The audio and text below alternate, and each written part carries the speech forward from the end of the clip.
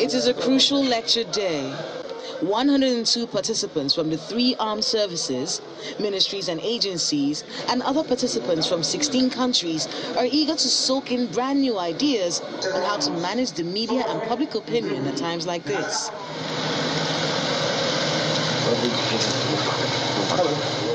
Outside the hall, bright and early at 9 a.m., Mr. John Momoh, chairman of Channels Group, makes his way onto the grounds of the 28-year-old National Defense College, the apex military training institution for the Nigerian Armed Forces.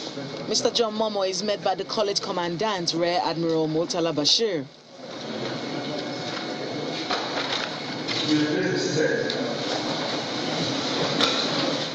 Straight to the podium, Mr. Momoh lays bare the critical role the media plays in molding public opinion, engendering national unity, and why the military must manage the media properly.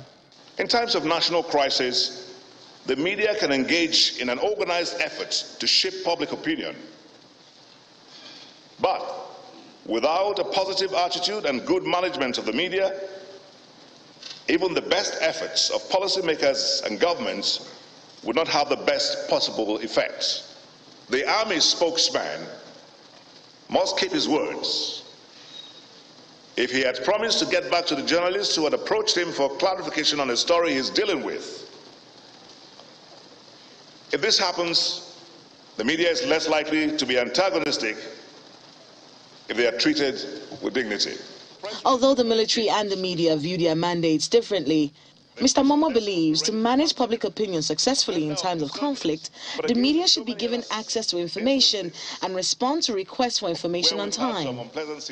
He ends the lecture by stating that if the military manages the media well, it will be able to manage public opinion successfully, urging the media to practice responsible journalism.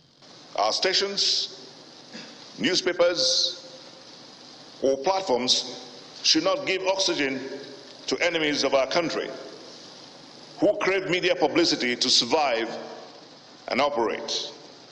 We must, repeat, we must practice responsible journalism in the interests of our national security.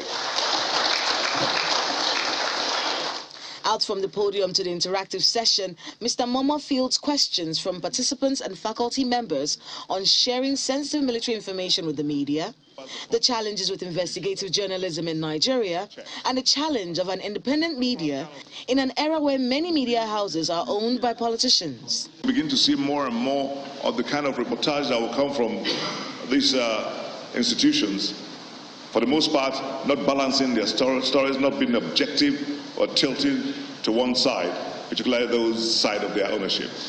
So that's the way it goes. It is the regulator who has the function to make sure that things like this are checked from time to time.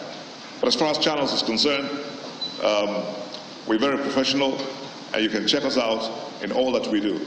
A word of gratitude brings to an end a rare interaction between the top military personnel and a veteran media practitioner and entrepreneur. The commandant of the college is already thinking of plans to make this military media synergy seamless. Uh, as a government, we need to have an appropriate media infrastructure to adequately shape public opinion.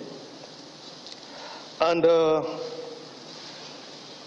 Based on the lecture, we can see that there is a direct relationship, you know, between the two variables, media and public opinion. Uh, Building that synergy between the military and the media seems quite difficult, considering the fact that both agencies work at crosshairs. The military believing in secrecy and the media believing in openness. However, that synergy is one that has to be made, and that is the crux of the lecture here at the Nigerian Defense College.